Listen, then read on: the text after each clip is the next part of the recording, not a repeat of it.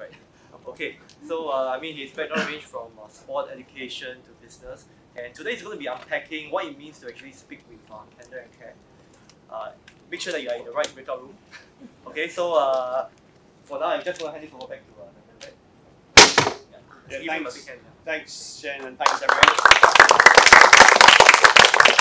Thanks everyone. It's good to have you here. Uh, around a topic that just keeps coming up, you know, in my work, uh, one of the first things I look at when I go into work in an organization is are they talking, are they speaking the truth to each other? When you go to a meeting, is what they're saying in the meeting the same as what they're saying outside the meeting? Um, and it's it's like a kind of a good indicator of the health of a group if the group are able to talk to each other openly. Um, in, in many groups you work in, though, the group doesn't sort of quite have permission to speak openly, uh, and so then the decisions that the group make together are often made on, on, on, on inferences, on guesses, on, on, on data that you're not certain about. Uh, uh, Jack Welch, the, the business leader in America, said the team that sees the truth clearest generally wins The team that sees the truth clearest generally wins, you know, in, in organizations. Um, and it's tricky. When they study leaders in Australia and New Zealand, hundreds of thousands of leaders, what they find is that the behavior that troubles leaders, the behavior of all the things they study that they find most significant is that in leadership in Australia and New Zealand, there's a tendency to try and avoid saying what really needs to be said. There's a tendency to just try and work around things, to hint rather than to deal with stuff. Uh, and Australia and New Zealand are fairly forthright countries. Uh, but there's still a tendency in, in leaders not to say what needs to be said. When you ask leaders about that, what they'll often say is, I just want to be a nice guy, I want to be a nice woman, I just want to, you know, these are people I care about, I don't know how to be direct and caring. And if I feel like if I'm being direct, that I'm sort of signaling that I don't care sometimes. Um, but of course, leaders know that if I'm signaling care all the time and I'm not being direct, that's not fair to the group either. So the, the dilemma is there in leadership. How do you speak front foot, cricket?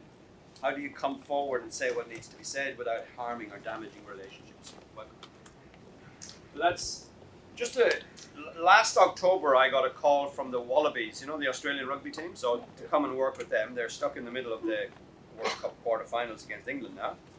Uh, so I got a call from the Wallabies, come and work with them, and they were talking about what they wanted me to do, and I couldn't quite get the center of gravity of the proposal. And I said to the fella uh, on the other end of the phone, I said, "Look, what's the core issue for you? What do you want me to come in and work on?" And he said, "We don't know how to have adult conversation." We don't know how to talk as adults. Uh, and if you can think about rugby as a sport, how tough they are, how courageous they are, like how physically courageous they have to be to play that sport at that level. So it's not a courage issue in many ways. Uh, it's just that they don't have the skills to keep that courage in their interpersonal relationships that they know they need uh, to underpin great performance. You have to have truth and courage in the organization If we can't talk to each other, we're not going to work with each other that well. So this is the sort of background to why I would put a, a session like this together. Hey guys, please feel free to interrupt. You won't be interrupting me. I'd much rather if you have a question or a comment or a clarification, you're not stopping, you won't be interrupting me. I'll be really happy to hear that as we go along. And there'll be times in the in this session where I'll ask you just to chat to the people next to you and just to make some sense. Be careful what you hear from me because I can only speak from my experience. You know, I, I don't come into the room neutral. I come into the room with my assumptions. I come into the room with my experience. I come into the room with, with my beliefs about the world. And some of the things I say to you will come from that place. And they may not be your assumptions or beliefs or, or thoughts about the world. So please feel free to clarify uh, because uh, this is not my session, it's yours. Uh, it doesn't really matter if it's my session, well, what's that? It's actually meant to be your session. So what you can take from this is the important thing, what I what I say. There aren't recipes for this because we're dealing with a very flexible. Human nature is so fluid and flexible that if I could just say to you, here are the 10 things you need to know, it's a recipe. But of course, a recipe doesn't work in, in the truth of the situation is always more complex than the recipe. So um, if I could just say, here are the 10 top tips, you know, you could read that in a book. But we all know that that won't match the context you end up dealing with in a difficult conversation. You might know somebody that you care about that you have to say difficult things to. That changes things. The recipe will change there. Um, it might be somebody who's senior to you that you have to have a difficult conversation with, and power will change that. And so recipes. I want to talk today more about approaches. How would you approach these conversations? And then, and also about how do you approach them internally inside yourself? How do you get yourself ready to have one of these conversations? So, and I'm taking you as proficient people. Like you're clever people, you're experienced people, you know lots of things already. Uh, and so if I was just to give you a recipe, I could have just handed that out. So it won't be like that in this session. I'd like you to have a thought first as we come in here. What are your questions about how to have difficult conversations? You know, when you in your leadership life have to step forward and say to someone, maybe someone you care about, someone that you have to have a relationship with, that that behavior is not okay. We, we can't do that. That will not work for us. We have to stop doing that. So when you have to have that, you know, deliver a message to somebody that you care about, that you're going to end up working with, that the relationships with that person matter, what are your questions as you think of yourself in that situation where you have to come forward and say, no, stop, enough, we don't do that here? So have a, a think for a second, and then when you feel free, just to talk to the person next to you. What are the what are the questions that you bring into the room around this? Uh, and I'll write a few of them up because that'll help me to frame and connect in as we do the, the presentation more properly. Um, some of you might be very good at this. You might be a very direct and skillful person. Others of you will feel the other way. I'm pretty clear what I want to say, but I'm not good at coming forward to say it. Some of you may feel I'm very good at coming forward, but I'm not skillful in my language, and I end up hurting people when I come forward. I do more damage than I to the relationship, even though I, I do say the thing that needs to be said. So, whatever is the question for you, um, just have a think and then a quick chat with the person next to you.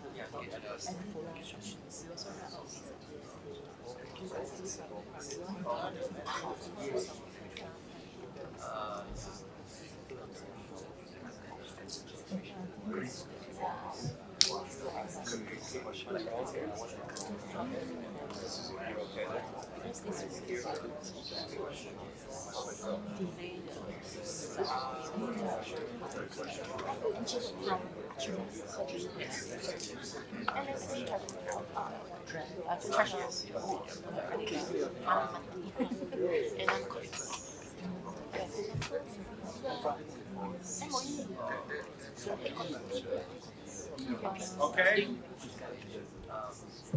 So just a, a, flavor, if you could give me a couple of questions just to give us a sense, because you know we're all separate minds, but then there's the room that we're all here together as well. What kinds of questions that people were, were, were beginning to ask? There are no good questions or bad questions, just our questions. We're just people figuring out complex things. Anybody want to? Yep. In a difficult situation when it comes to someone who's maybe say wanting to quit or team selection or Yep. uh, disciplinary action. Uh, those three that come to mind straight away that I've had to deal with. Um, I, like, I don't know. I try and put myself in their shoes. Is that something that you would do and, and work, work that way? Try and figure out how they felt in those situations and maybe rewind and uh, So they- reverse engineer why they did what they did and, and, and Yeah, how do you maintain empathy? How do you develop empathy in a, in a difficult situation? You're about to tell somebody that something they've trained for, they haven't made the team, they haven't made the squad. Um, Uh, know, continue working with them. but you know they're an, they're an athlete you're going to maintain relationship with. Uh, they're important in the program, but they're not. They haven't made the squad. Um, and, the suggestion is do. Um, is it a strategy of, of, of worth to actually try and come out of your own space and almost sit in their chair for a moment and think, what will it be like to hear this? How would I like to hear this? Uh, because it's it's high stakes for you because you care about them and you're the coach, but it's high stakes for them because they have to hear it. Um, the, the when I worked in New Zealand sport, I was doing a workshop on influence, and I asked them to name somebody that had the most influence, uh, a very influential person, because I wanted this person to give a do a segment of the influence workshop with me, and they all named the same fellow. Not everybody, most people named this same fellow. I said, "What does he do?" And they said sort of precisely what you have just said. Sorry, I don't know your name, Matt. Matt. They said they said precisely what, what Matt has just said. They said they said he is the one who tells people that they're getting cut from programs. He's the one who tells even physios that they're not going to the Olympics. They might have been attached to, you know, they're bringing a smaller number of physios. So he's the one who has those conversations uh, in in high in high performance sport in New Zealand. And they said, however he does it, and even though you seldom like what he has to tell you, you always walk away from talking to that man feeling respected. You walk away thinking, I hate that he told me that, but I love the person who told me that. Because he did exactly, Matt, what you. And when I talked to him, I said, How do you manage to do that? How do you actually build relationship in a difficult conversation? And he said exactly what you said. He said, You know what I actually do? He said, Before they're coming in, he says, I actually sit in their seat, literally, physically, just to change my mind shift. Because I'm going to be sitting in my chair, um, but they're going to be sitting in their chair. And he said, Just to trigger my empathy, I get up before they come in and I sit where they're going to be sitting and I just try and put myself in their place. What will it be like to be going home to tell your wife this? To tell your parents this? What is he going to have to say tonight? She going to have to go home with tonight? And he, he literally runs through as best he can. Now, that's not a perfect experience. Like you can't experience what somebody else is experiencing, but but you can trigger your own empathy uh, in ways uh, in ways like that. His motto on his desk, as I'm talking to him, his motto and we heard uh, Bang uh, talking about mottos today and the importance of motto. His motto is a quote, um, and it says, "Everyone is fighting a battle that I know nothing about."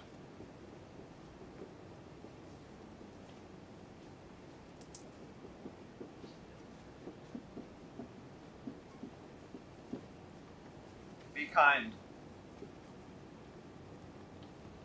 Always.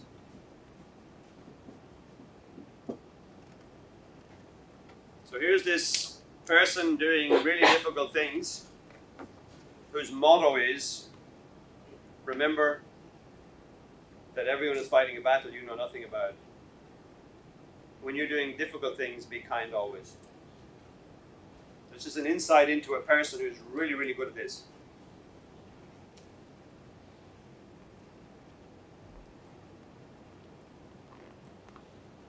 Can be really direct and really caring. Can you get a sense of it? You can be really direct and really caring. Thanks for the question, Matt. Anybody else got a, a question or I just an opening up again? Sorry, what's your name? My name's Dan. Dan. Um, when I'm having difficult conversations, um, I think perhaps it's part of my personality. generally in life is I'm over concerned with what people think of me. Yeah. Um, and I think I carry that kind of that baggage with me into most of the conversations that have. So Dan's comment again, powerful, courageous comment that when I, when he's in the situation of having a different conversation,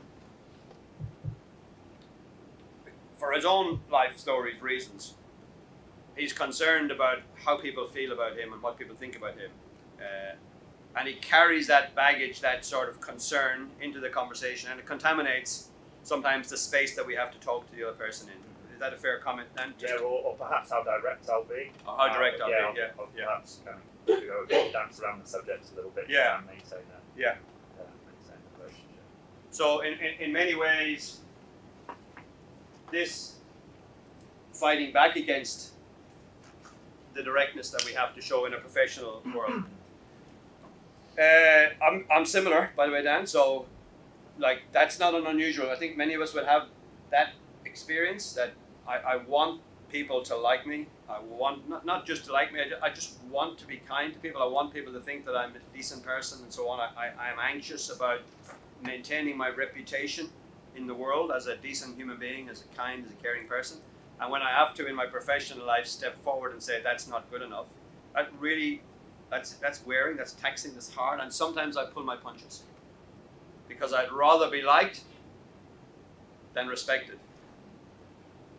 I, I'll pay for it with respect, but I won't pay for I won't let let the like bleed out of the relationship. I'll let some of the res- you know, and it's often my own respect because I know I didn't say what I needed to say. It's my walking away from that room knowing I didn't say what needed to be said. So here's a technique, Dan, or a thought that, that I've found, uh, and this is coming from top end coaches that have taught me this. When we face that dilemma with top end coaches, sometimes somebody will say something so extraordinary, you'll think, oh my God, these guys work to a different plan to me. One of the coaches said to another coach who's similar to us, you need to change what you're loyal to. Because at the moment you're loyal to the current state. As a coach, you must be loyal to the future state. Our jobs are to be loyal to people's potential. And it's actually more kind to talk straight now so that we get somewhere that we care about than it is to let people off the hook now. And it- it's been quite helpful to me, Dan, because I've actually reminded myself loyal to the future. Sometimes, if I have to say things that are difficult, it's because I care about you that I'm saying those things. It's because I want to contribute to a future that you care about that I'm having this. Co- and I'll even say that now in conversation, Dan. I'll say, this is a hard conversation to me to have because as a person, I really like you. You know how much I care about you. But I'm not here as your friend, I'm here as your coach. And a coach's job is to talk about what's not here yet. Coach's job is to move the person from the now to the next, from the current state to the better state for them. And to be deeply kind to that person, we have to be prepared to talk about things that aren't here yet. And so it sort of helps me just to prepare myself in that space to just stay with that. Because it's not because I don't care about you, I'm having this conversation, it's because I do. But and you can remind the other person that this might be tricky for us to talk about. Remember where it's coming from in me. This is probably hard for me to say, it's probably hard for you to hear. We need this courage because we care about what we're trying to do together. Any other just early thought? Yes? Yeah, we, it's quite similar to what you just said. So we, we are talking about making the questions uh, objective ones so that we want to address the situations and not attacking the person. That'll come up in the presentation. It's a great question too. So observations are easier to talk about than inferences. So we never make judgment comments, lean in and say, you don't care. So if you say to somebody, you don't care about training, you're leaning into them, you're going beyond the behaviors you've seen and into deciding why they do it. So you're making a judgment comment. Whereas you have been late for training for the last four sessions uh, or you've come without the right equipment. So, so now we can talk about that because that's ob- as objective as we can. It's clear. It's data. It's not judgment. So it's again, it's a really astute point, and I will we'll practice a little bit of that as we go through in this session. You know, how do you make sure you keep your your your comments to what's observable and seeable by you and them, and not going into what, why they're doing it. Don't go at their intention, go at their impact, what's observable. So critical thoughts, guys. Like these are critical thoughts as we sort of go into this space. So we said three things: empathy, loyalty to the future, and observations, not judgments. In fact, you can all go home now. There's- if we could do any of that, if we could get those three things, think of the power of those three things. If we could get those into our practices, we would be very strong in this space. Empathy and kindness for the person, loyalty though to their potential that isn't here yet, and skillful language that talks about observation that doesn't make judgments.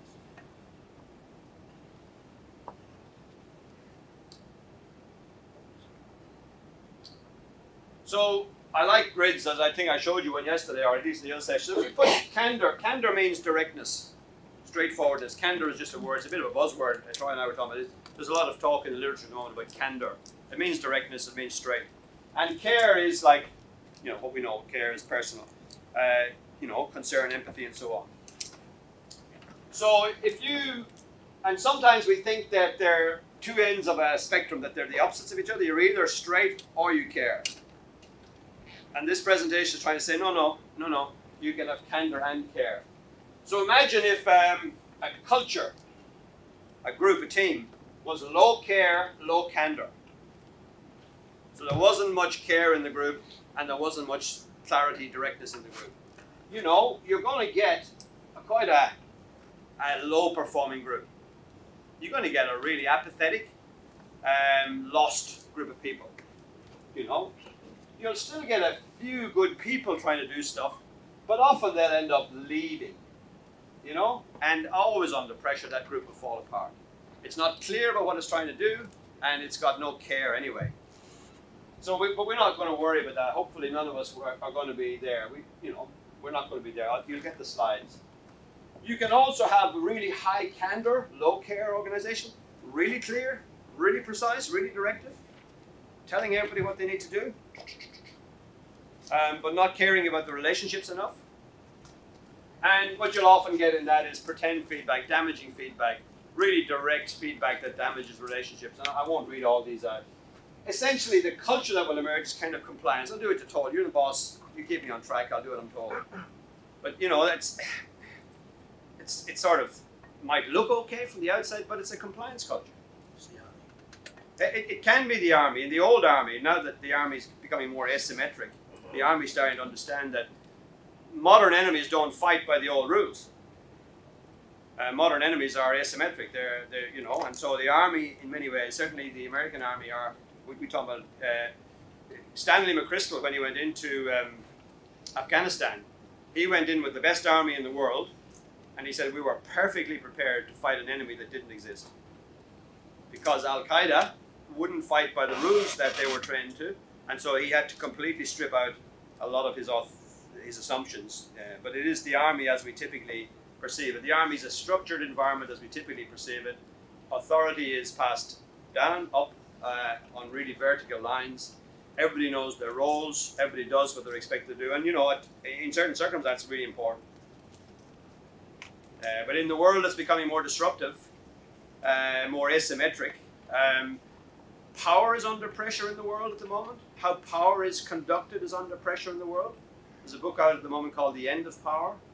Uh, because so much knowledge has been democratized, uh, you know, people want in in a different way to what they want. Young people don't want to nowadays live by a strict a hierarchy as older people like myself were able to accept when we were when we were young. The, the people in front of you in your coaching space will, will be coming from a different set of mental models, many of them, than the ones that you might have accepted.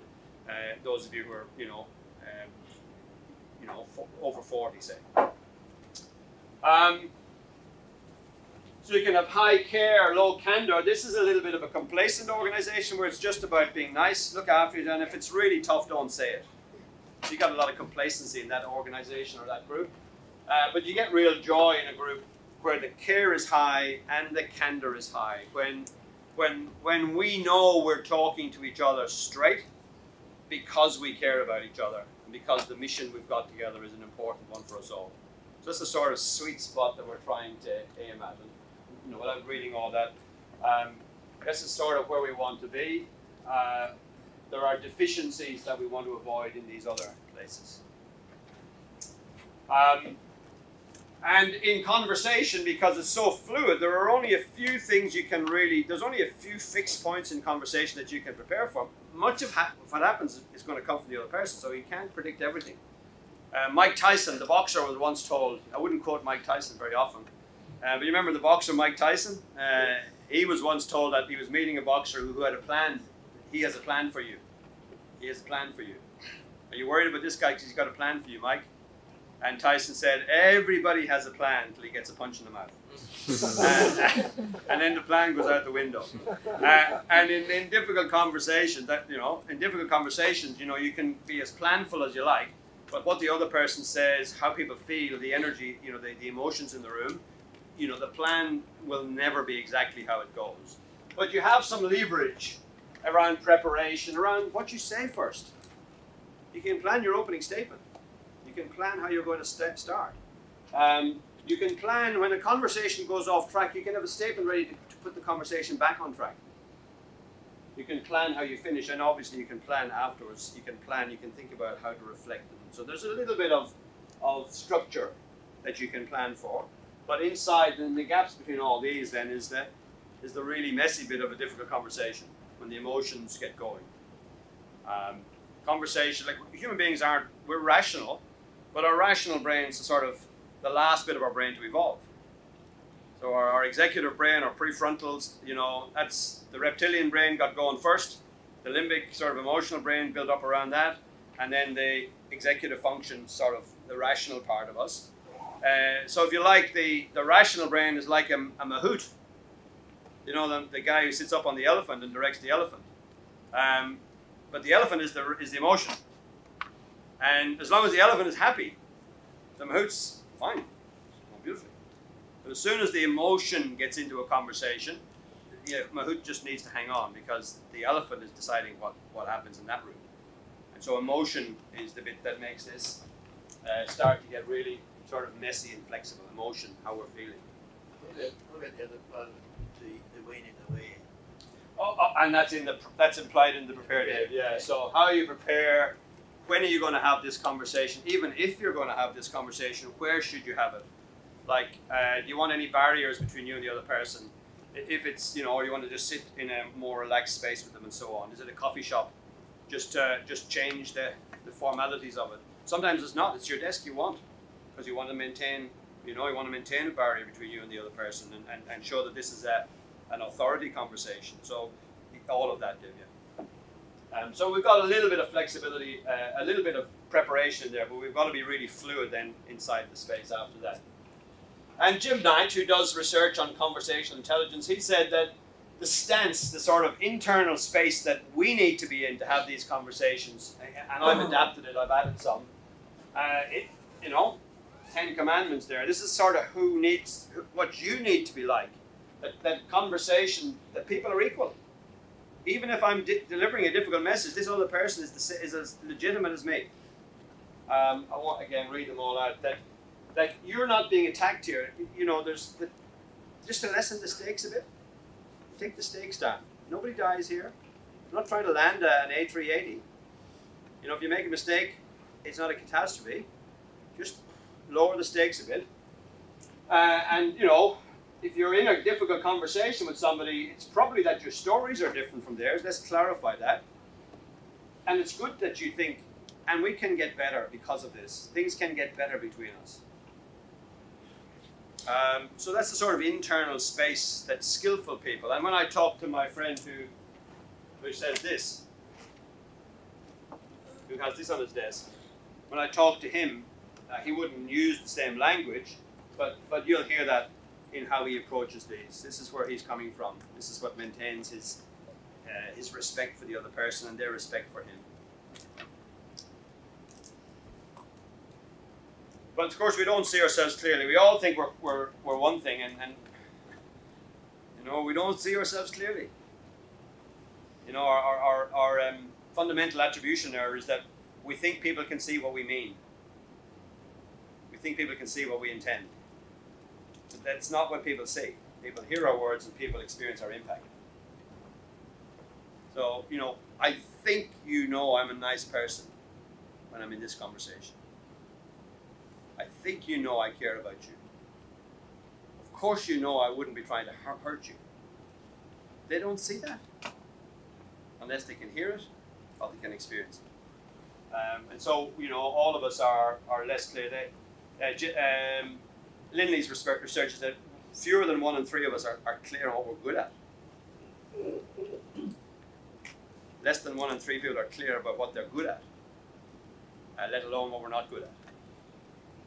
Uh, which is really why feedback is so important from the outside. Because when you get feedback from somebody who's skillful, they're giving you a sense of what you're experienced as. If you don't get feedback from others, if your feedback all comes from yourself, you're wandering around, it's all going beautifully in here. How good is this? And we have old stories that trigger all our, our we, we're, we're, we're as storied as the next person. There are, way back even in our childhood, there are stories that are still playing out in our adulthood. You know, I, I'm working with somebody at the moment, and his old story is, uh, I always have to prove myself. So from his family, we heard uh, in the keynote this morning power of family uh, for good.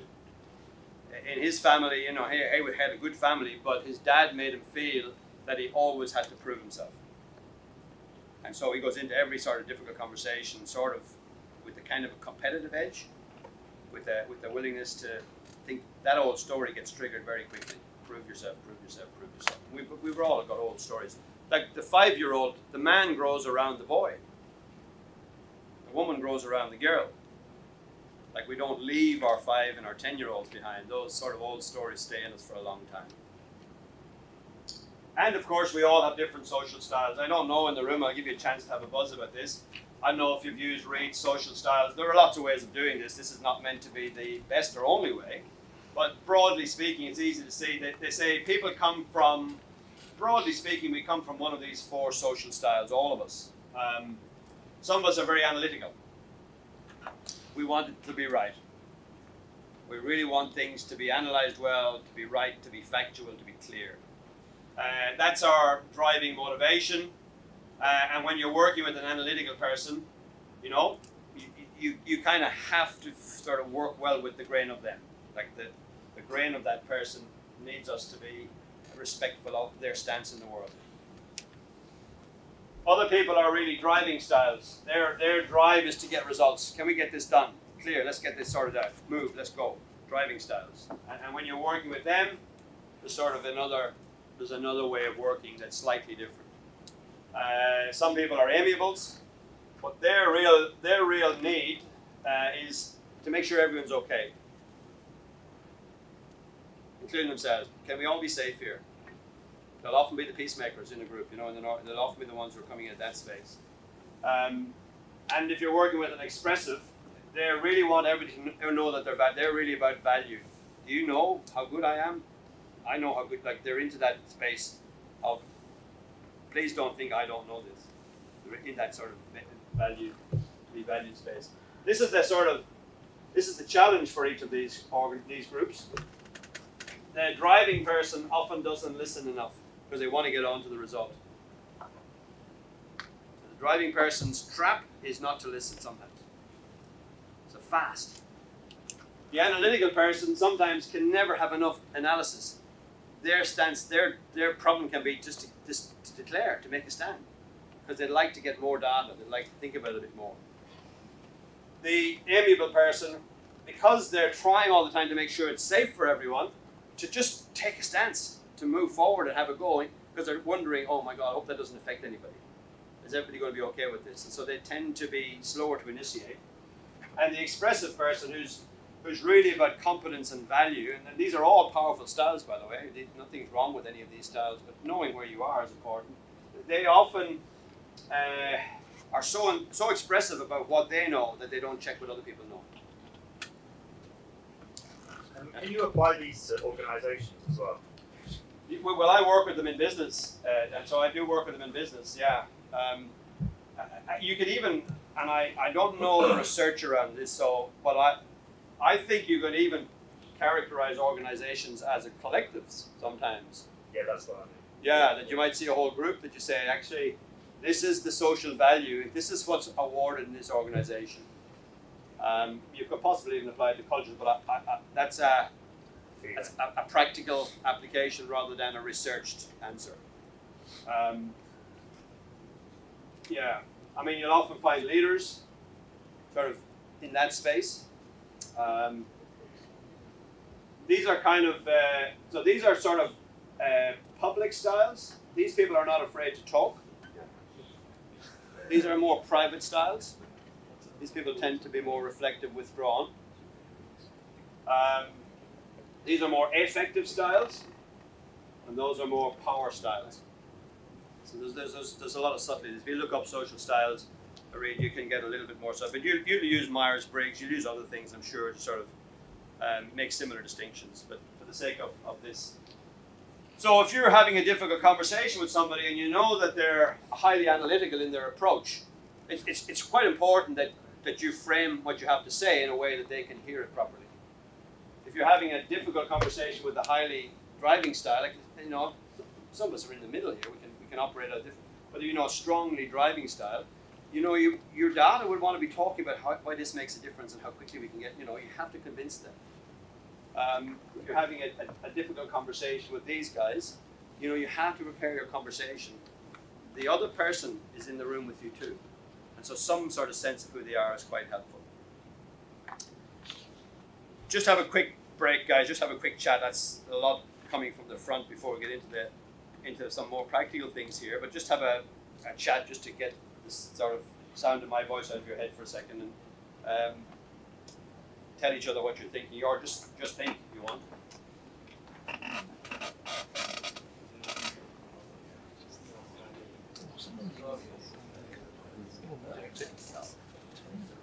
Can be a bit contextual too. Sometimes the task you're doing can put you into a space. The expectation of the task can say you need to be a driver on this one because you're leading this.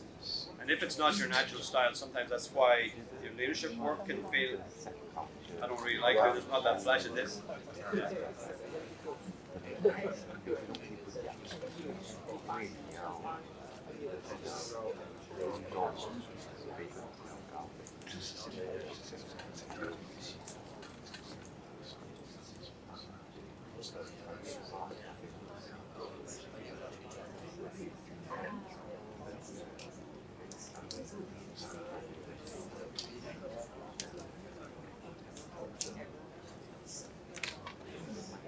If you, I,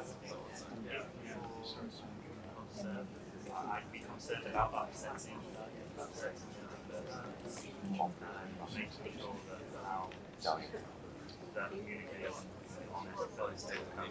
people about Yeah, I mean, certainly when we come together, you're going to experience all four. But even for you, contextually, and, and, and, and yeah, you don't get, these are not labels that, you know, you are this, you are this. These are sort of energies that, and, you know, as you get more experience, you, you learn how to sort of swim in the, in the, in the whole river. Yeah, yeah. So, you know, you could be, ideally, if you drew a circle there, you might be trying to get to that space. Yeah. But it's like left-handed and right-handed. You'd probably have a slight default style.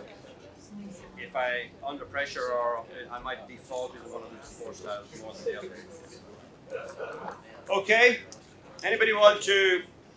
Anybody need need to say anything or want to say anything, or are we comfortable just to move on into like the key principles? I think are starting to emerge. I'm really emerging from you, not from me. The key principles is around empathy and around. Um, and then for a bit of fun, you know, in the literature there are ten different difficult kinds of people you have to deal with from time to time, and uh, you know, we're probably that ourselves sometimes. So the tank is the person who just rolls over the top of you. So you're in a conversation, you know, like a tank, literally they roll over the top of you. So you're starting to have a conversation, you hmm, there she goes. The sniper just drops in the little quiet little, you know, from 100 meters, he just got you. And it's the next day and you're still worried about it. The next day you're still worried. And it actually almost gets worse the longer it because they've just got a little comment in that really kills you. The know-it-all is generally somebody who does know a lot. And they outflank you all the time with knowledge. Oh, ha- haven't you read that? Oh, oh, sorry. Okay, sorry. I would have assumed you read that. I didn't even get breakfast this morning. No, you asked me what I've read. They, I think I know it all as a different person. Uh, they can only talk general, really. And once you probe, you find out, hold on a second, you don't know what this actually looks like on the ground. You've got this beautiful, um, sounds very impressive, starting a conversation. Get, you get away with it because people think, oh my God, that's very powerful. But when you get down to the nitty gritty, you don't know how to talk. You can, you can talk, you can't walk this. So that's a different person. And we're all annoyed and deal with these different kinds of people. Uh, the grenade. That's the person that if you do the wrong thing, it blows up on you. If you pull the pin out of this person, if you say the wrong thing, it might be 10 second delay, but it's going to blow up, right? uh, we know them as well. Um, and they're sort of obvious styles. These ones are actually quite difficult too to deal with. You know, the yes person, the person just agrees with everything. Can you please disagree with me? Like, give me something to work with here. And you know, if you're having a difficult conversation with the other person and you're trying to say something important, they're saying, yes. Oh, thank you. So, yeah, great. Gee, Brendan, I'm really glad you told me. Yeah, yeah, yeah, yeah, yeah, yeah, yeah, yeah, yeah, yeah. Can I leave now? Right? So they don't give you anything. Um, the maybe person, you, you know, they've never seen a fence they didn't want to sit on. You know, the fence sitters? They, they'll, you know, they just sit on the fence. They don't go one way or the other, so you don't know what to, how to work with them the no person who's, you know, they're against everybody. The whiner, they're only happy when they're unhappy. So that's the person, you know, in an organization who's always complaining. And if you solve things, it doesn't matter because they'll have another thing behind them. If you solve it, it'll be another thing. If you solve it, another thing. And that can be really annoying. Uh, and then the nothing person is like a black hole in physics, you know. Doesn't matter what energy goes into it, nothing comes back out. And they often wear you down in leadership because you keep trying to reach them and they keep saying, "Come again, mate. Come again. Come again. Give me more." Right? So they're they're that person, and you know, many of you would have good strategies for some of that, but there'll be one or two of those types that you find probably particularly tricky to deal with. Um, I don't know, you know, again, which ones you find tricky to deal with. Um, I suppose the self-reflective question would be, which one do you become yourself when you're not at your best? Which one do we become ourselves when we're not at our best? You know, under pressure, our, our, our um, you know, our behavior sometimes breaks down under pressure. We become the thing that we're um, not that proud of. So, anyway, there's just a little bit of thought there, and you'll all, as you listen to that, usually, you're putting names in. You're putting in people's names. You're putting, in, oh, that's what she's like. That's what he's like. Um, if you ever write names on this, don't leave it on a photocopier. because it would be a lethal weapon in the wrong hands. Uh, talk about a grenade, um, that would be a lethal weapon. But you know, we all deal with we deal with tricky, uh, tricky people all the time, and uh, but they're still people, and they're still fighting battles that we know nothing about. And it doesn't. The fact that they're a tank doesn't allow us to say, it doesn't really matter. I could be unkind to her because then we're lower, then we lessen ourselves. Then the behavior is a race to the bottom. When in fact leadership is trying to rise the tide, rising tide lifting all the boats, trying to create the best environment as, as again we heard in the keynote this morning, creating the best environment for the best behavior so that the people can flourish. So we don't fight on their terms, we fight on the terms of our values and our ethics and our and our deeper hopes. There's always a choice. This is Viktor Frankl uh, again, many of you have known and have read books. Viktor Frankl was an Austrian psychiatrist who was imprisoned the, by the Germans during the war. Um, and they took everything from him, you know, his titles, his name, his, his family. He was in a hard labor camp, not an extermination camp, so a hard labor camp. And uh, he began to look at the people in the camp that were working with him, and he, begin, he began to realize over time that he almost knew who would die next from the hard labor. He would watch people going out into these work details in the morning, and he had a fair idea who wouldn't make it back in that day. And he attributed that in the end to um, meaning. The, people who, like, he, he remembers, he talks about a guy who, who had cigarette butts that he picked up off the ground that the guards had thrown away, and a little bit of tobacco left. He had three of these little cigarette butts. And essentially, his life meaning had come back down to the fact that he had these three cigarette butts. That's all he had left to live for. And he, Frankl, in, in some interview says, I remember the day he smoked them before he went out, knowing he would have no reason to put up with the hardships of the day. He's at the end of his tether. He smoked the meaning that he had left, and he would probably not make it through the day. Uh, and he survived the Camp Frankl and wrote a book and founded a school of therapy called logotherapy, meaning therapy, uh, and said that this is kind of the last thing we can do without his meaning. At the end of it all, we still have to have meaning. Um, the other really powerful thing that Frankl talks about is choice. One day when he was being beaten by a guard, a guard of 19 or 20 years of age, beating this psychiatrist in a, in a chair, he looked at the guard and he had an inspirational, he had a moment of inspiration when he thought, I'm freer than you. I'm the one in the chair getting beaten. You're the one with the power and the truncheon, but I'm actually freer than you. And what he said really powerfully was that between anything that happens to you and your response, there's a little space. Between anything that happens to you and your response is a space. And how you use that space, how you use that space, is the place that makes you either great or not so great. It's the place that it's the last of the human freedoms. So if anybody's angry with you, between that and your response, there's a space. And you can anger up again, back, get all Irish.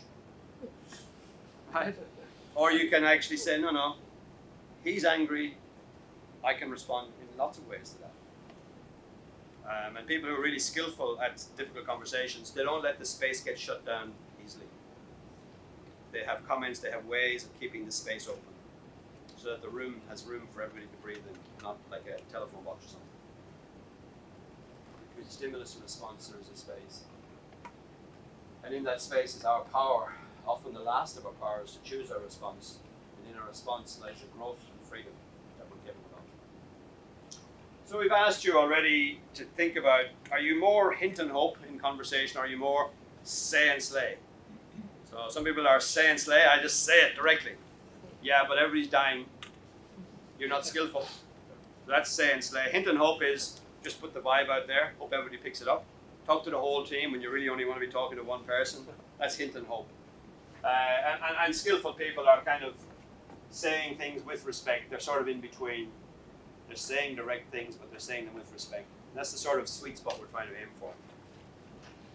Um, there are conversations you have to have in leadership. Uh, this is the Australian Army. There are conversations you can't avoid. If you avoid conversations, people will think your leadership is not strong in that space. Um, standards you walk past, people are watching that. If important things are being walked past, people are making assumptions about your leadership. Uh, not suggesting you should fight all the time, you know, but you have to be ready to go when you have to go. So you had that question on the sheet last yesterday on the keynote yesterday. One of the questions coaches ask me a lot: How do you deal with high-performing bad citizens?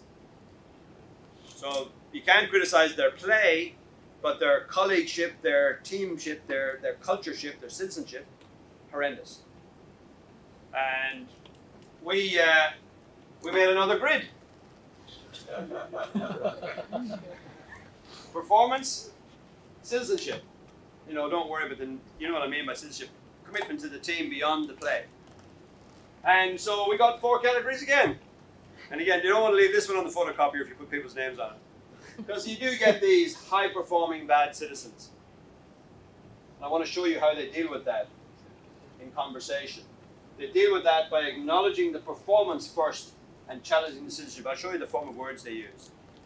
Then you get some really strong people in your culture. They're really good performers and they're really good for others. They mentor, they support. You know, this guy could be a bully, this person could be a bully in the culture, but a great player. And they're really difficult to deal with because the sponsors love them because they only see the player. the sports body might love them because they only see the player. The player is good for the profile of the sport.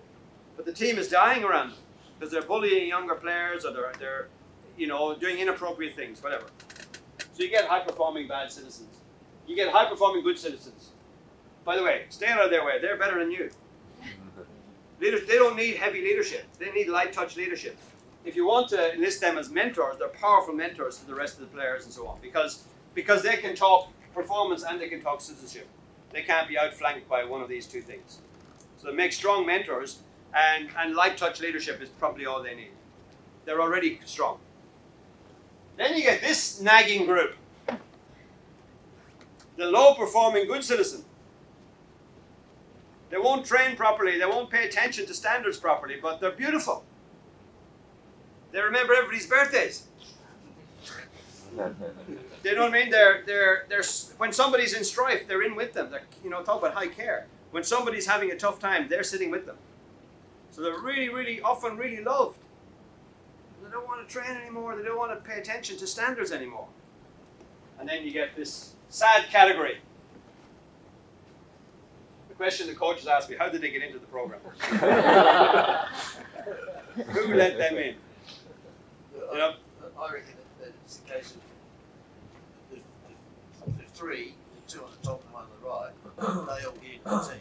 Yeah. And until they get down to the national elite team. And, and, and that, that, that they, there are thresholds in here. Yeah. Because you can have somebody who was a great player who, over time, as they get older, perhaps or whatever, they drop off slightly, but they're still a great citizen, and you'll hold them. You'll hold them for a while because they're really good for the group. But then, let's say you had a whole generation of them aging together, and you're holding them for a while. You know, this is the you know who am I telling, guys? Right? You're in this space. But the, so the questions start to become where are the thresholds? Because these are not just four categories; these are sort of tolerances. That's a performance conversation. That person needs to leave the team because they're killing the culture and they're not delivering anything. There is no reason, like other than weakness. If somebody's really down here, now you, you know somebody can drop a little bit on citizenship. We live with that for a while, and we have conversations. In fact, exactly as you said, Dave, this is where the conversation starts. When it gets to a place, you know, we can't drop any more on this. This is some issues that we need to, we need to address. And the same with performance. You know, performance can drop back and for a while, that's okay. We let it, but there's a time, there's a threshold no, no, we need to have a conversation now. This is where these message delivery conversations. We have to be prepared to go there when when the thresholds are reached. So I asked the coaches to put in their words how they would start a conversation with her and how they would start a conversation with her or him. And here's what the coaches came up with they said you try to bend the strength back on itself. If they're strong on performance, bend that back on culture. So they, I really admire the commitment you give to getting everything out of yourself in training. You leave nothing to chance. You're actually an example in this group of commitment and discipline and excellence in your training. What I want to talk to you about though is how to use that same commitment example. See the skill getting bent back on itself? How do you use that in leading within this culture more broadly, because that's where your journey is. That's where your growth and commitment lies. This is now you, you, you, we'd all put this in our own language. That was what they came up with. This is maybe six coaches working in a workshop with me. I really admire your high performance. I want you to apply the same talent to your cultural performance. Here's the low performing good citizen. Same methodology, obviously different words. You've got to acknowledge the citizen and bend it into the performance space. You have been loyal to this place and to this group for a long time. Uh, you hold the story of the place together. People revere you here. Uh, people look up to you.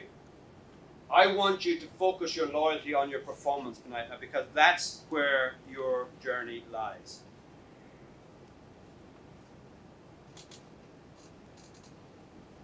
If you do that flexing right, I think you can say difficult things, direct things, while acknowledging that the person, without doing anything to disrespect the person. You're actually even giving them hope if you do it well because you're telling them the talents that you use in performance, the same talents will be helpful in culture. Commitment, dedication. To culture now. Loyalty, care, loyalty to performance now. So you're actually almost telling them the pathway, you're starting the conversation about how they can do what you want them to do. Of course, this is all predicated on one thing, and that is that we have performance standards that we can talk about, and that we have cultural standards, citizenship standards that we can talk about. In sports, I find often we have really clear performance standards. We can have the performance conversation pretty clear. And I mean behavioral standards, things that people can say, not just the values, behaviors, uh, data, like really discussable, observable things. I, I, I sometimes find that all we have over here are our values. We don't have clear citizenship behaviors that we expect of each other. For example, that everyone picks up their fair share of the workload here. That, uh, that it's a privilege to wear the shirt, and part of that privilege means senior players mentoring younger players and making sure that they're brought into the space well. You know, whatever those standards are. So explicit standards in the cultural space. Not a big you should have 40 standards. Four, three, four, five key behaviors. Uh, because that becomes the data that you'll be able to talk about when you're having a difficult conversation. Because it's behavioral standards we're talking about. And I can tell you, you haven't been at training uh, on time for the last four, for four of the last five sessions. And it's a standard here that uh, when everyone is, when anyone's late, it's a disrespect to the group. Because the others have made the effort to be there on time, they're waiting for you. When anyone's late, it's a disrespect to the group. There'll be circumstances, of course, fine. But if there's a pattern, because we don't go for a difficult conversation the first time something happens, unless it's a really bad breach. We go for a difficult conversation when there's a pattern in what people are doing. Because you've got enough data to go in with then. If anybody can make a mistake. I'm talking about the pattern now. So uh, I find it quite useful. Even as a, you know what a, a concept does? It, it actually gives you a frame. It gives you explanatory power. Gives you a way of thinking about it. You know that. You know the people here. You know, if, if we had uh, a whiteboard there in your team, you could tell us where people are. And you could say, oh, he, you know, he's, he's, he's just coming back slightly. She's just coming forward slightly. You could position most of the people there with reasonable accuracy. Um, one coach I know has done this activity with the team, and they got the assistant coaches and themselves to position people. And they had a conversation about why do we see them differently?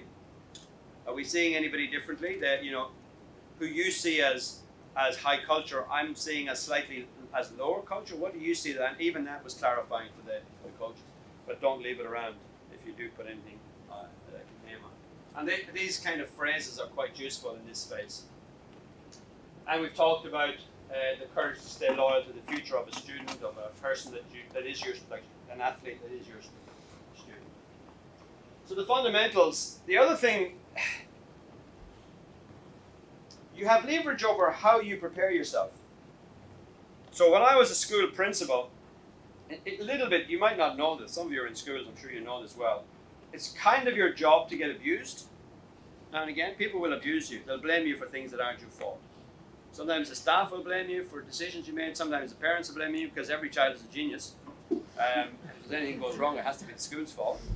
Um, and and I, I, I've been in some pretty tough conversations with people, um, and in some angry rooms. You know, where people are essentially um, insulting me. One woman, one particular day, the word she chose to use for me for that day was stupid. You're stupid. Um, and, and sometimes you'll say, no, that's enough now, we won't have a conversation. And we can't be respectful. But I, I, I heard stupid a few times before I, uh, and I, she's called me stupid. She said I was so stupid I didn't care about the kids. I was so stupid, all I wanted to do was defend the staff. Uh, I got so good at this, not taking it personal, that I'm in that room, and what's in my head is, lady, You got no idea how stupid I really am. I'm far stupider than this. This isn't even the stupidest thing I've done today. Like, I'm not buying into her insult. And that's not just to be dis- I'm not trying to be disrespectful to her. I need the space to deal with this well. And if I get sucked into the insult, if I give the insult permission to annoy me, then the space in the room to resolve the thing uh, it just isn't there. So, so because I can come out really tough, and I can tell her all sorts of things about, you know, and what happens then? I win, and the relationship loses. She wins, and the relationship loses, and we have to work on with each other. So we've got to maintain space. Nothing is is is, uh, is personal unless you let unless you let it. Like there is an opportunity there between stimulus and response. You're stupid, and my response between that there's a space. There's freedom. You don't know me well enough to say that.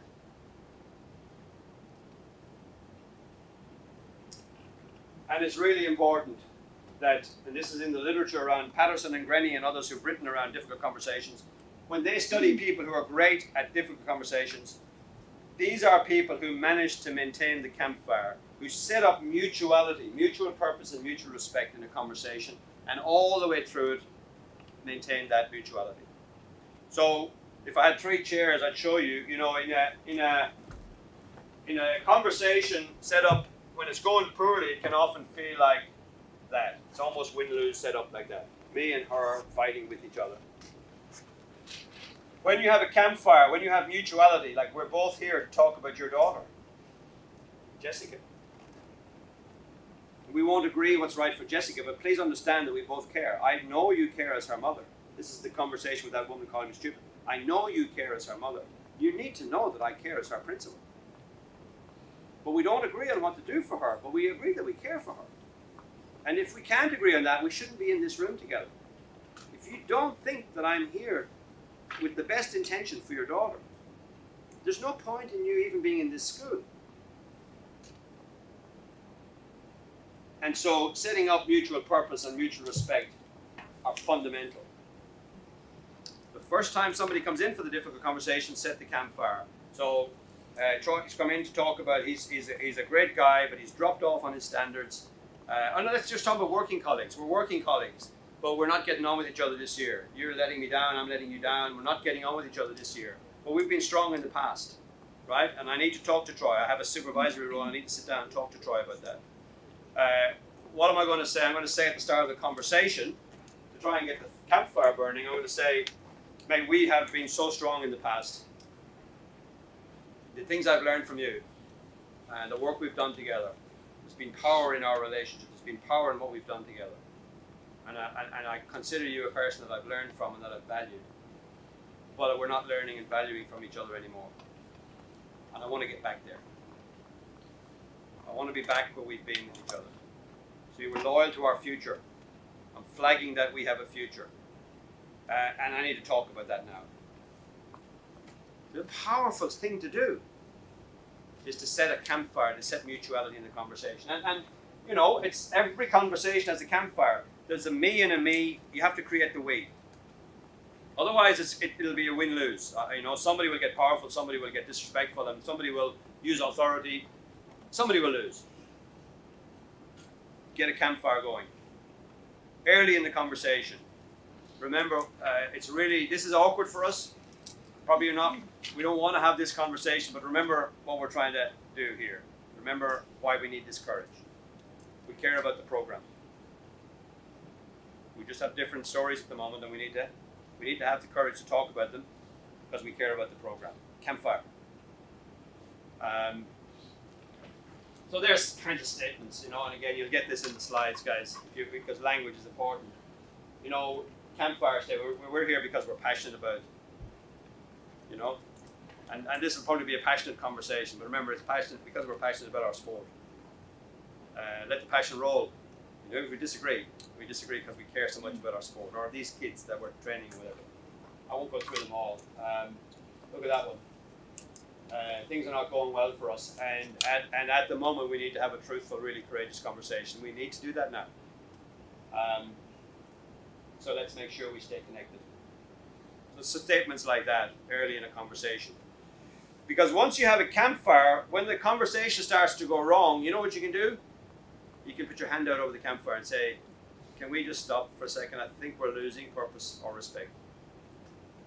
You've got a, ref- a reference place to go back to if the conversation starts to go wrong.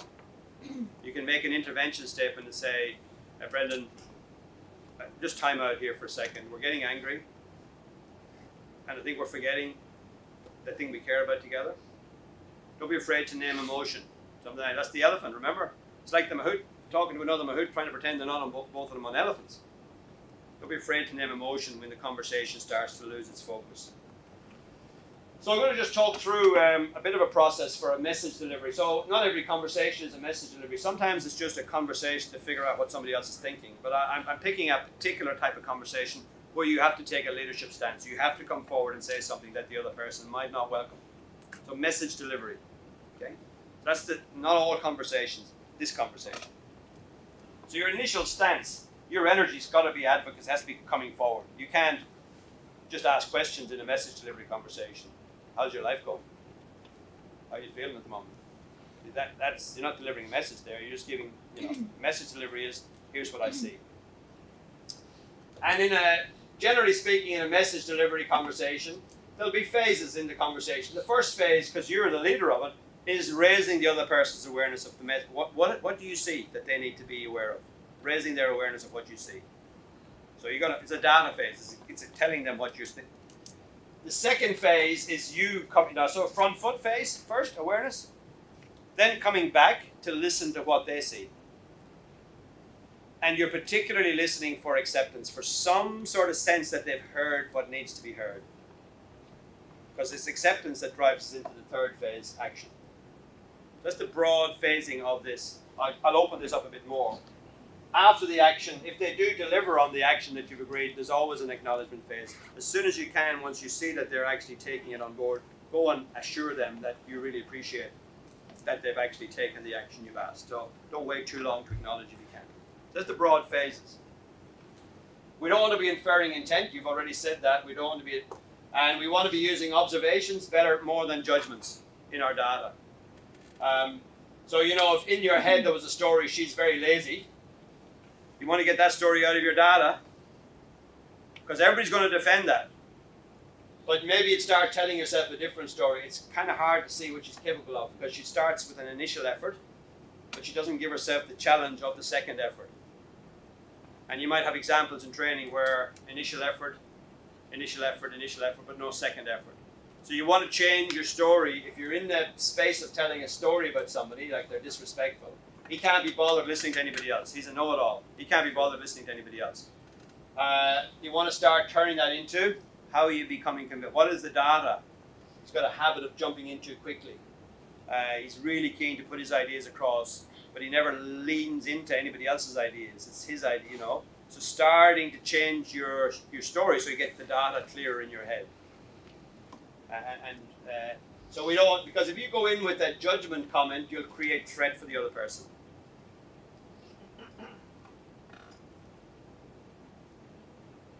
You judge someone, they'll create threat, they'll, and they'll go into fight, flight, freeze. You know, the adrenaline will kick in, and they'll generally go into fight, flight, freeze. You know, they'll come out swinging, or they'll just want to be out of the room, or they'll just freeze up and you get nothing at all from them. So we don't want to do that to people. But we do want we don't want them to be comfortable either in these situations. We need to be in, them to be in a challenge state. Uh, in, in leadership terms, you know, your leadership should provoke. If you looked at uh, leadership as, as, a, as, a, as a face of a dial or something, uh, some cultures and some leadership is too comfortable. Leadership is just nice. But other leadership is too threatening. Nobody's good enough. No matter how hard you work, I'll always find more for you to do. And so if you put your leadership energy into comfort, your group won't learn, it's just happy talk. But if you tip too far, you get your leadership into threat where nobody actually feels good enough. The place is just dying with threat. And there's no learning in threat. In threat, you're like a whiteboard. Your mind is like a whiteboard, just surviving. Uh, and so leadership energy is always trying to find challenge. Uh, the zone of proximal development in, in education, Vygotsky, like the, the thing we can do next that's within our reach. That's hard to do, but it's within our reach. So we're always trying to find language in these situations that's direct and challenging, but we don't want to threaten. And we don't want to not say anything. So it's just the sort of framing of our language. Uh, I left the extra bars there because sometimes in a long form we do this over a day, people write scripts and stories. Uh, so we're always looking at what's observable. And then these three A's, there's awareness, there's acceptance, and there's action and acknowledge. So they're the four A's that I talked about earlier on. First stage is for you to be clear on when I've left this room, what must I have said? What is the critical message that I must say here? It's amazing how many people don't go in, they either go in with too much to say or not enough clarity around what must be said. So you've got to clarify the message for yourself before the conversation. And then you've got to collect some accurate data and examples. What are the observables that convince me? What will I be able to show them to convince them? You've got to have some observables. You're not just going in saying, I don't think you care. You're going in saying, the story I'm telling myself at the moment is based on the fact that you're late for training, that you're, da, da, da, and clear, observable things when you start the conversation, don't give all your data in your first, you know, you don't just go in and say everything. You go in with a couple of pieces of clear examples that you want to talk about, and you keep some data back. Because if they push back on you, if you don't get acceptance, you want to have other examples. So sort of split your data up. Uh, you know what I mean by data? Just examples, stories, clear things. Um, here's a here's a hard one. If you're going to use data from somebody else, as far as possible, put their name on it. Because telling people that a number of people have been to see you to say this tends to provoke threat. So let's say teammates have come in to tell you, the coach, about another teammate who's, you know, whatever the standard is that they're breaking, clear standard. Very tricky situation. Though because the moment you say that to them, a number of your teammates, you, you know what they're going to do. What we would all do, they'll spend most of the meeting trying to work out who's been in to see you. And, and trust is going to be damaged inside that group. So there's a sort of a, there's a bleed started there, there's a wound there now.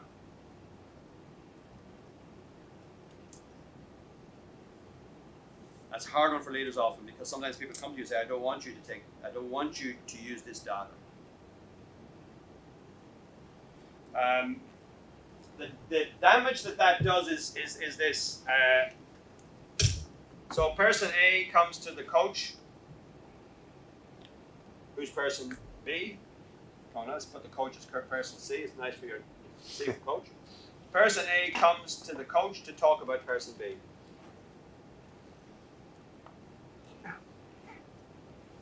And says, and the coach then, with sort of that data, has to go and have a conversation if they decide to with person B. What that's called is a triangle, obviously. Triangle is a strong uh, geometric shape, but it's a weak conversational shape. Because, because the fact that person A has been to the coach is going to have an effect on person B. And in the strongest cultures I work in, one of the rules is no triangles. We're always aiming for no triangles. We're, so we're always trying to say to the people, uh, can you find a way of saying that to hurt yourself? Peer accountability on that diagram yesterday. Or I'll come with you if you want to have that conversation with them. Because a triangle doesn't mean not three people. It means that, that the person who's, who's, feed, who's getting the feedback is getting it from the person who did the observation. Yeah. If the secondary source data come from boss, uh, and you don't have the opportunity to verify, Yeah. so how do you present this data to the, to the If you don't have the opportunity to verify data, so it's not primary data, you haven't seen it, it's not clear data for you, uh, it's dangerous. And so the person who gave me the data, I would be seeking verification from the person who gave me the data. And the best thing I'd be saying to them is, will you come and say this to them with me? Or will you go and see them yourself and talk to them? In a mature place, um, if we're having a difficulty, we'll be talking. We won't be transacting it through another person. Um, it, it just becomes it's almost a denial of natural justice, but it's also trust damaging. If we know that, because uh, the other thing it, it leads to is that people who have access to leadership then have enormous power. Because they can go above you and say things, and if you don't have the same access, you've got no control over the story about you that the other person is getting. And so, in broad terms, we're trying to cut down triangles in organizations. So, remember this cycling example I gave yesterday of the young person coming off the track going to the data analyst? What's she doing as she hits the corner? Did I give that example in the keynote? Uh, now, she that's a that could have been a triangle because you've gone to the sports scientist to check the data. The sports scientist then could have gone to the coach, and the coach could have gone to the lead athlete. But they didn't, they went together. It's okay to go and check, it's okay to verify, but she went with her. She went with them in the end. And so there's a real robustness to what they did. Okay, another question. Um, you make the assumption that most of conversations, um, so, and, and, and talking about organisation, a lot of times in Singapore, there's the bigger group called the community of the sport. Yep. And, and when I say the bigger group, they're not actually that big, it's quite a, a small group. So there's situations where, let's say social media, people have their opinions how the team's playing and they come through. Yeah. And, and you make the assumption that you'll still be able to have a conversation with people, make comments about your coaching and sort of you know what I mean? There's a, it's easy enough to do in the organisation the team. So the outside body, uh, the media is reflecting, is commenting in on your performance. No, not the media, no, No. people in the community. So- Actual, for other coaches or, or other people who are directly involved. Even inside your national sports association community. Yes, yes. Yeah. So yes. people outside your direct team. Yeah, yeah. So But they- inside your- are, coaching players Yeah. who are within the team as well, so they've obviously negative towards his coach, then they're Yeah. obviously the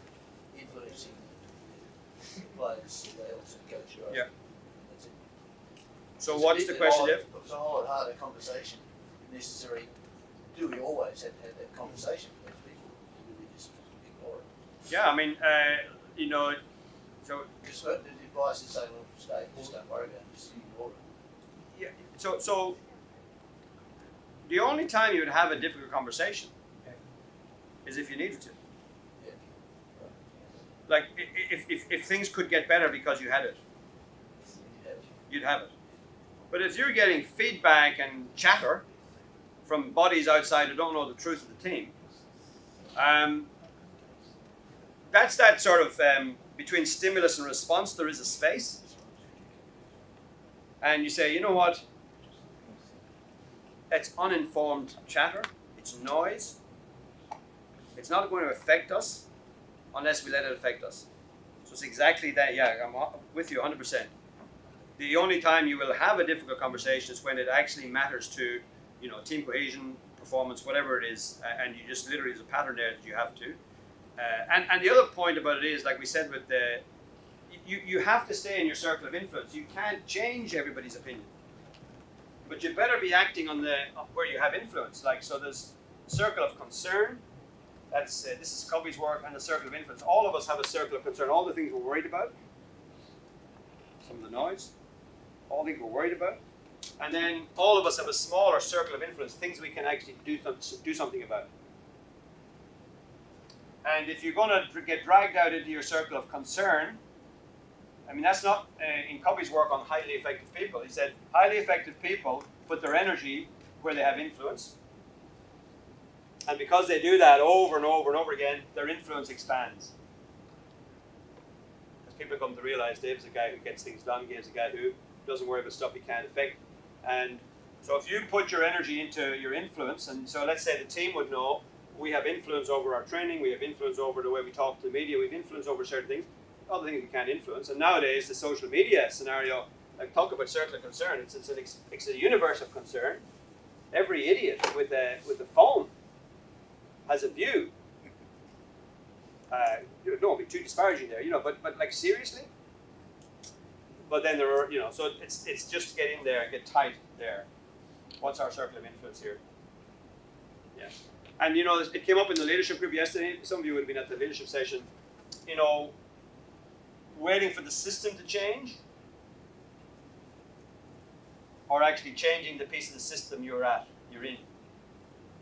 Getting a few people who think like you together and actually changing. That's got some agency in it. That's got some power in it. Hoping that the leaders understand things and change things. It's kind of giving away your power.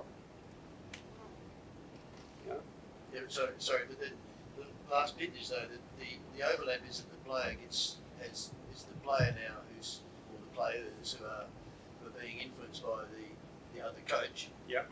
And also having, having to influence by me. So Now it's affecting us. That's the overlap. We're into a conversation now.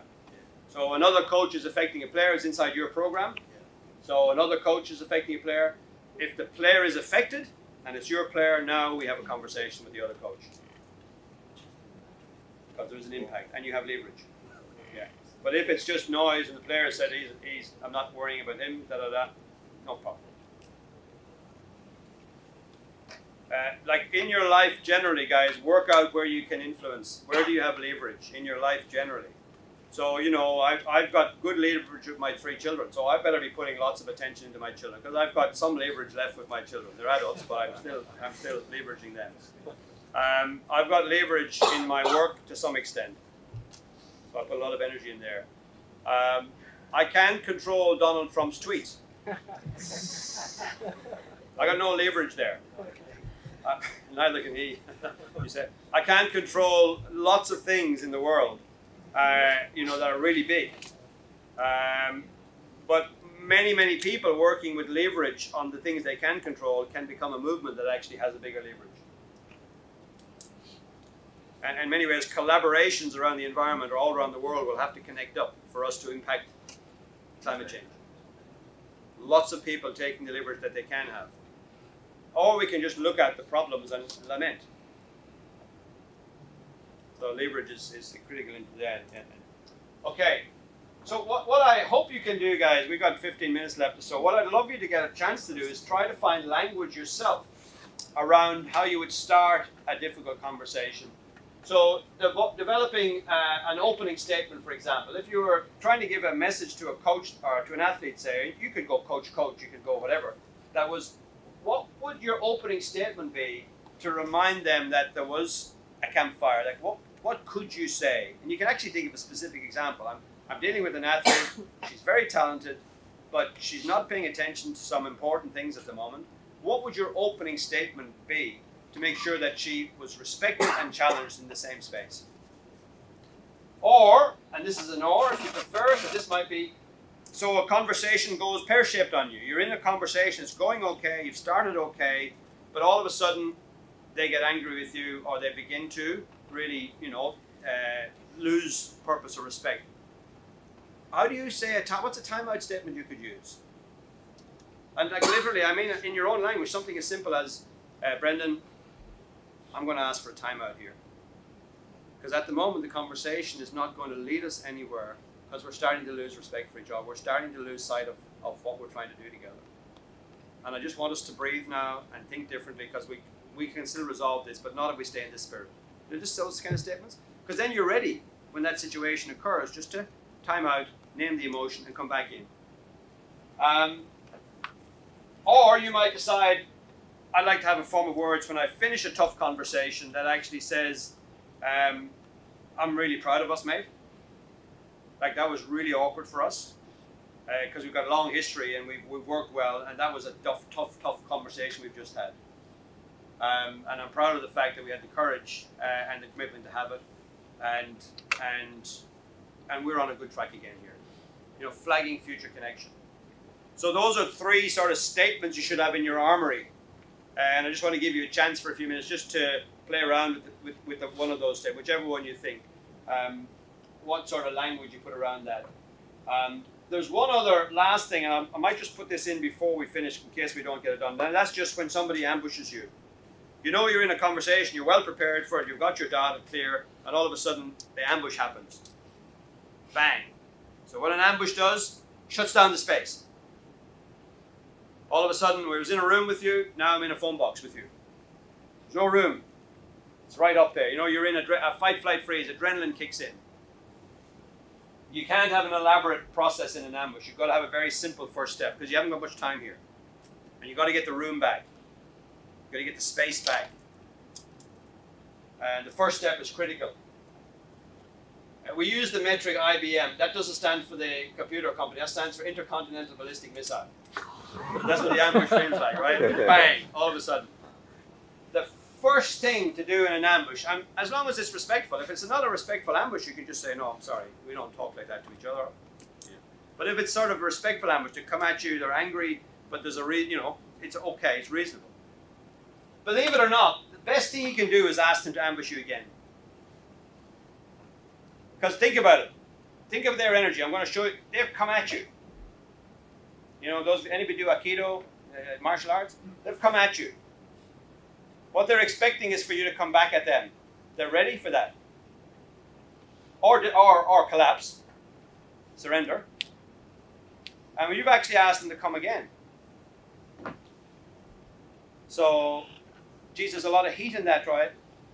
There's passion in this for you that I don't understand fully. Can you tell me some more? Right? Ask them to say it again in some form. So, what's the worst thing that's going to happen? Okay, maybe they shoot you again. But you're already on the way to the hospital. We've called for the ambulance. You know you're going to get two wounds fixed, right? You, yeah, okay. Some people will actually go again. They'll balance and go again. But you heard it actually, so you're okay because this second time is different.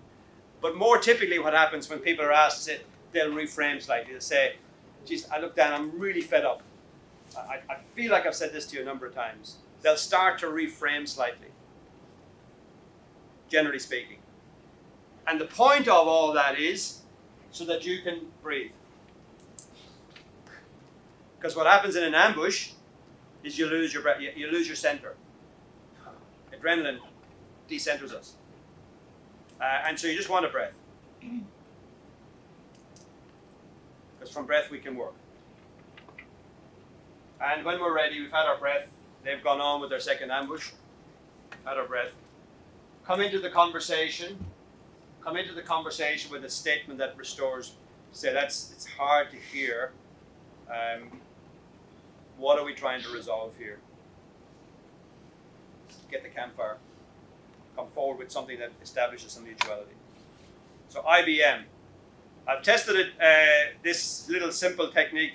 So I, I, got a message from the World Cup last year, two years, maybe three years ago now, from an inter, uh, a national rowing program and of all the, I'd spent hours with this coach and coach and hours and hours and hours.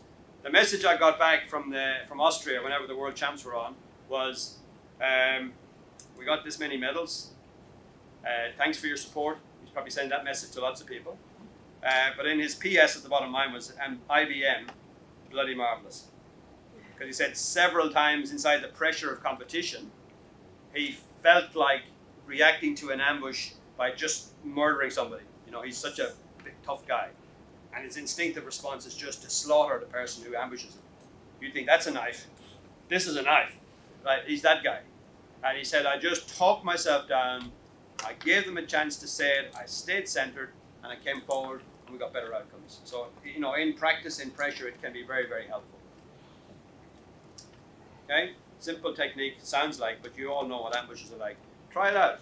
Send me an email uh, if it works for you, you know, because over time you can get better at not letting the room get shut down on you. So can I just get you, uh, Shane, we've got about seven minutes left. So can I just give you a chance just to talk a little bit around maybe a statement, what might you say? Because uh, my language or the language of coaches from somewhere else is, is their language, but your language is probably more important. And pick one of those and possibly just what I might say is what. Have a bit about. Yes, please. This is all because we want to have a conversation. Yes. The, the alternative is to write something. Yes, so the alternative is to write something like an email Yeah, or uh, uh, whatever. The, the, the difficulty is nowadays that most of what you've experienced from my words today have been supplemented by my physicality. And when you write something, the tone, The body language is not in the writing. And we don't want that. Well, well, well, you're a very skillful man. we want your body language. Um, except that it's how people make meaning. Like they say in, in 0.04 of a second, we work out is this a friend or a foe. Like not that long ago, we had to make a very quick judgment, and we're used to making meaning from the totality of like the medium is part of the message, in, in the old saying. And maybe if you feel that you're angry with somebody, maybe you want to strip away the tone of voice, the body language, and just put something very clean and dispassionate. Eh, eh, that could be a situation. But if you're trying to build and restore relationship, um, in some of the business I work in, they say if it's longer than four lines, it's a conversation. Because it starts to become too many ways they can interpret you in an email. And, and if it's longer than four lines, if it can be really crisp and clear and it can be done in four lines, I'm, four lines is their message, it's not, there's no magic number here. But if it's longer than four lines, you should probably be picking up the phone at least because that gives them the tone of your voice. Or having a meeting because that gives them both the tone and your, you know, your generosity. And you don't know how to read them. You've delivered a message, but you don't know what they've experienced. So you're sitting happily thinking, beautiful, done it. They're crying. Or they're angry. But uh, when you are writing, you will have time how you're going to say, what you're going to say, and so. And so when you're writing, it's clarifying for you. And that might be a really good way of getting the critical message clear in your own head. What would I need to say to this person? If the writing can hold it, fine. Uh, and, and, like this, this is what I'm saying. There's no recipe. This is an approach. Different things will work in different circumstances. Thank you. Anyway, sorry. Yes. So we talked about having a conversation, but what if the other party to meet, or they just avoid, or they walk out of the room, and then how do you take it from there? So the other person refuses to meet with you. I mean, or they walk out of the room during a meeting. If they walk out of the room during a meeting, that's okay, uh, because we can reconvene. We can say, look, whatever was wrong in that room doesn't have to be in the next room. How would you like to meet? Because I still want to have that conversation. Now, I mean, if you're uh, in leadership, you know, they would have to say, I don't accept your leadership, to refuse to come into the room with you. And that's a significant thing for people to say, I do not accept you as my coach. It's a significant thing, thing for them to say. Um, So that goes back to what I was saying before about the social media. They don't accept your authority or your expertise as a coach, because it's been on. be coaching our national team type. Yeah. That's that's the saying. They would never have a conversation Uh, sorry, sorry. They would never have a conversation with you about that or after that. with me at all because of that. Because they don't accept me as a national coach. That sort of thing. So, and it, it's, I'm trying to connect these two questions together, make sure I do justice to both if I can. Um, My, mine's actually more of a, let's say the head coach versus, uh, not versus, but head, head coach trying to tell something to one of the assistant coaches. assistant coach, head coach, assistant coach, and just say a little bit more then.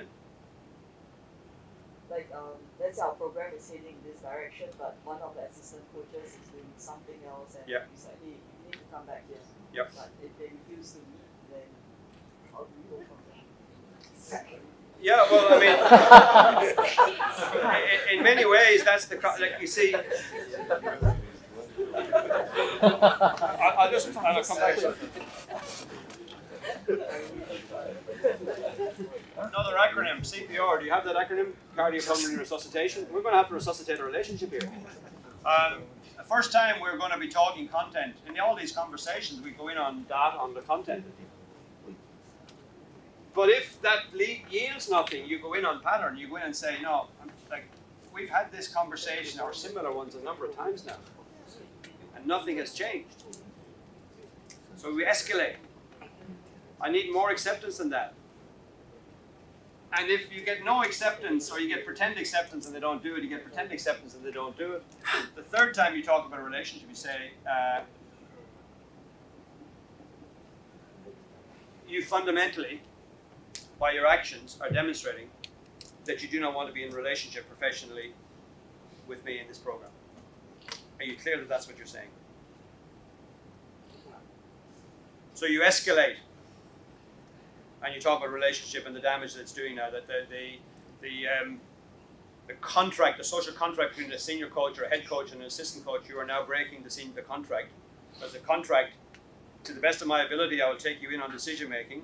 At the end of the day, I'll make some calls too, and at the moment, you're deciding to to, to breach that part of the contract. So, nth degree, I can talk, but at the end of the day, you make this decision and you want to sever this relationship.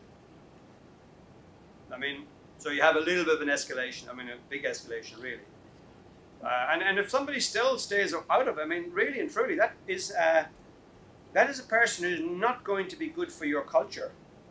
And the next conversation we made, okay, how do I support you in not being here? what do you would like me to do to support you in not being here? Uh, because our values and our agreement are this, your behaviors and our conversations are this.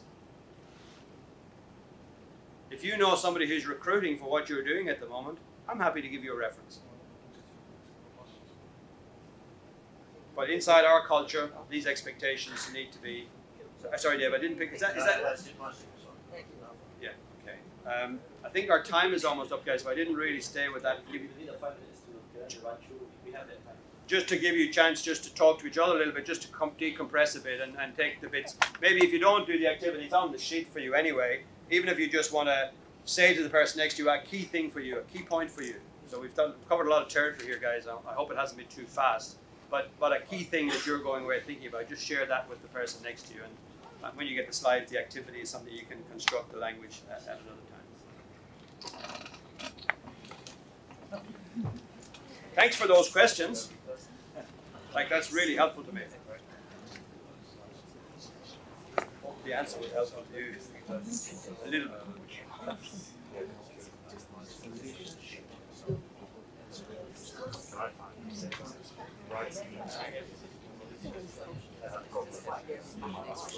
Okay.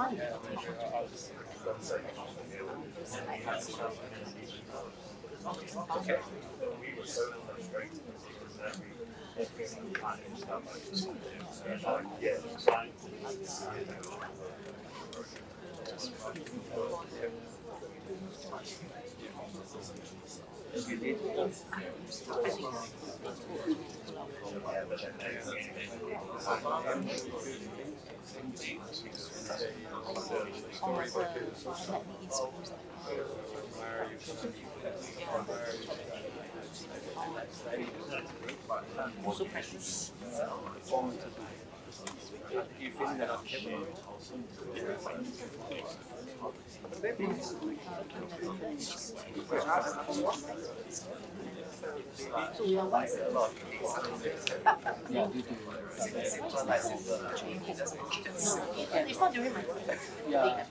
So now we are finding very high. So it's a general keeping a system that works. Then you can central person. Wait, would they, would they ask even if it's generated?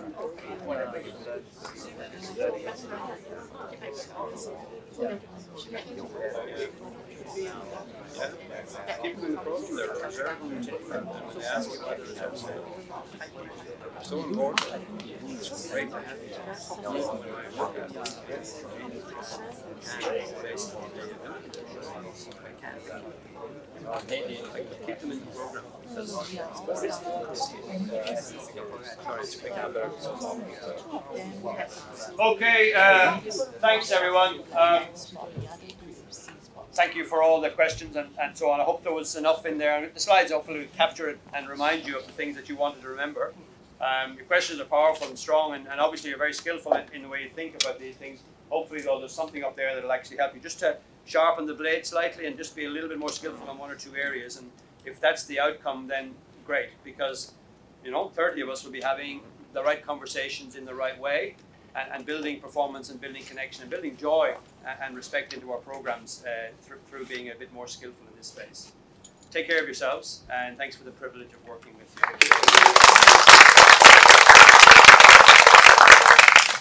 Thank you, Brendan, for the enriching sharing. I think even for uh, as I was uh, going through all this, was also reflecting on how I can actually infuse some some of this learning into my own relationships with my country. So actually encourage you guys to do the same thing. So before we, we leave today, right, um, can I get you guys as you go out to scan your phone on the QR code uh, over there and uh, fill in the feedback form for us. And uh, you can actually go back to uh, for lunch to the uh, area outside Agora Hall. So at 2.15 p.m. we're going to have a panel discussion uh, with the three keynote speakers. So other uh, our head Ask the other two. Ask questions to the Yeah. other two. you I have don't, any. I don't, you get your questions. Get it. and uh, I will encourage you guys also to uh, log into Slido if you didn't manage to log in yesterday. The code is uh, C422, C422. So if you have any questions that you haven't yet been able to ask, you can actually log in your questions uh, right now. Okay, thank you very much.